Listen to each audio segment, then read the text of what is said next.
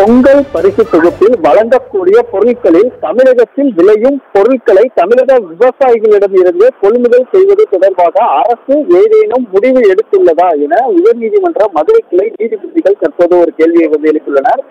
தஞ்சை தஞ்சையைச் தஞ்சையை சேர்ந்த சுந்தர விமலாநாதன் வந்து உயர்நீதிமன்ற மதுரை கிளையில் ஒரு பொதுநல வழக்கினை வந்து தாக்கல் செய்திருந்தார். இந்த பொதுநல வழக்குல வந்து தமிழகத்தில் பொங்கல் திருவிழா அறுவடை திருவிழாவாக கொண்டாடப்படுகிறது. இரண்டாயிரத்தி பதினேழாம் ஆண்டு முதல் பொங்கலை முன்னிட்டு அனைத்து விவசாய கார்டுதாரர்களுக்கும் பொங்கல் பரிசு தொகுப்பு வந்து தொடர்ச்சியாக வழங்கப்பட்டு வருகிறது. இந்த ஆண்டும் இலங்கை தமிழர்கள் உட்பட சுமார் ரெண்டு புள்ளி இருபது கோடி குடும்பதாரருக்கு பொங்கல் பரிசு தொகுப்பு வந்து வழங்கப்பட உள்ளது.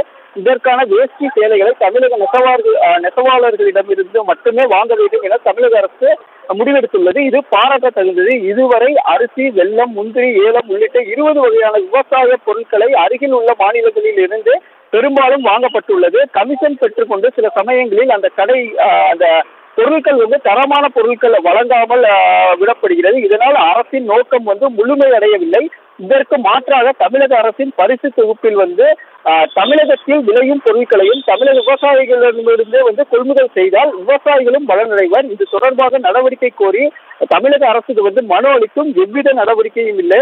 ஆகவே பொங்கல் பரிசு தொகுப்பு வழங்கக்கூடிய பொருட்களில் தமிழகத்தில் விளையும் பொருட்களை தமிழக விவசாயிகளிடமிருந்தே வந்து கொள்முதல் செய்ய வந்து நீதிமன்றம் உத்தரவிட வேண்டும் என வந்து இந்த மனு வந்து செய்திருந்தார். இந்த வழக்கானது நீதிபதிகள் மகாதேவன் சத்யநாராயண பிரசாத் அமர்வு முன்பு வந்து இன்று விசாரணைக்கு வந்தது. அப்போது நீதிபதிகள் வந்து மனுதாரரின் கோரிக்கை வந்து நியாயமானது நன்மை பயக்குவதும் கூட என வந்து கருத்து தெரிவித்து இது தொடர்பாக அரசு ஏதேனும் முடிவெடுத்துள்ளதா என கேள்வி எழுப்பினார்.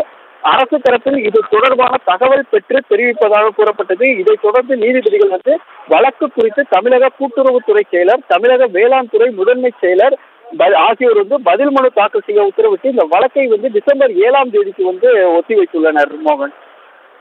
நகைய அடுக்க வைக்க போறீங்களா? நிறைய ஜுவல்ஸ் அதுக்கு கொஞ்சம் காசு.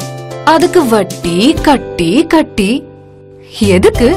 ஆர்டிகா கோல்ட் கம்பெனில பெஸ்ட் ரேட்க்கு வித்துருங்க. ஒரே நிமிஷத்துல பணமா வாங்கிக்கோங்க. ஸ்மார்ட்டா யோசிங்க. இனிமே நோ வட்டி. Attica Gold Company. Call triple eight zero three hundred three hundred